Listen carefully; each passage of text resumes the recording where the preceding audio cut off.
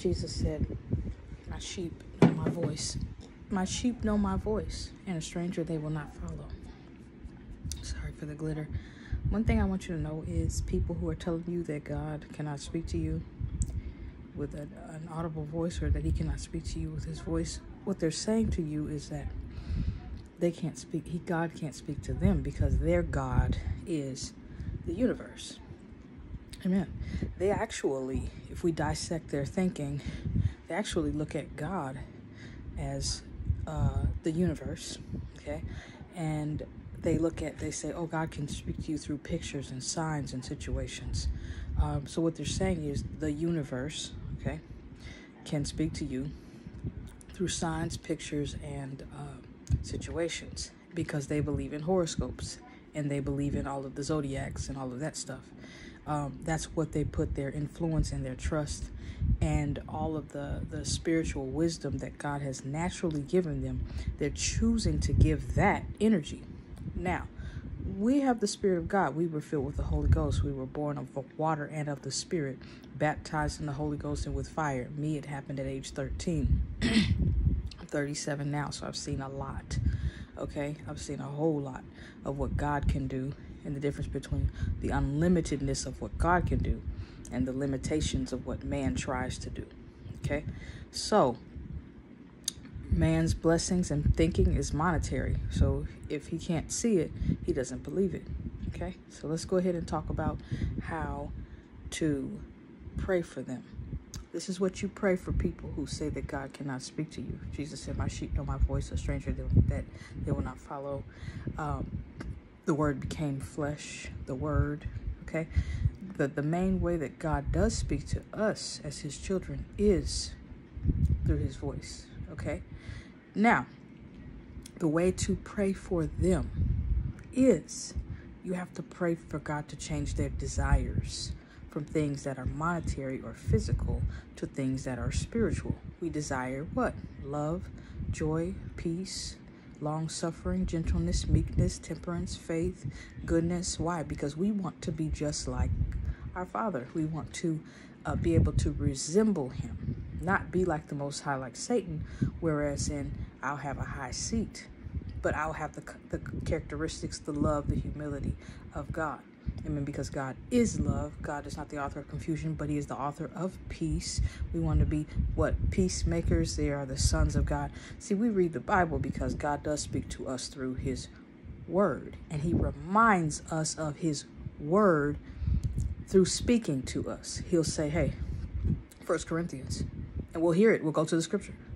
First Corinthians 13. He'll say, hey, Romans chapter 7 we'll go there and we'll read it. Amen. So that this is how you, like I said, the way that you pray for people who say God cannot speak to you. Because I remember, um, what's his name, Adam James. He says, "Oh, God can't speak to you in an audible voice." His father heard God speak to him the same way that God spoke to Samuel. Called his name so loud that he hid up under his bed. It scared him. Amen. So people who are who are talking like that, they are reprobates. They have their mind set on monetary, physical things, which is the reason why they cannot reach us. Um, they're not allowed around us. They can't touch us because they have their mind set on what? Monetary things, physical things. So this is what you pray for them. You say, Father, I need you to touch my brother or my sister, and I need you to speak to them just one time. That's all it takes. It's just one time for them to wake up and say, wow, that was him. But how many times do we sit there and pray and pray and fast and pray and fast and pray and ask to hear from the from the voice of of God, hear from the voice, hear uh, the voice of God, and it and it happens in some church service when we're while we're speaking in tongues, while we're praying and crying and and and, and groaning in the spirit Amen. So sometimes it's not going to happen until we get them out of their comfort zone around us, around the believers, get them in a church service, and then they'll say, Oh, yeah, he can speak. Okay. And then he'll begin to speak more and more to them. So that's how you pray for them. You say, Lord, I need you to touch my brother and my sister. Speak to them.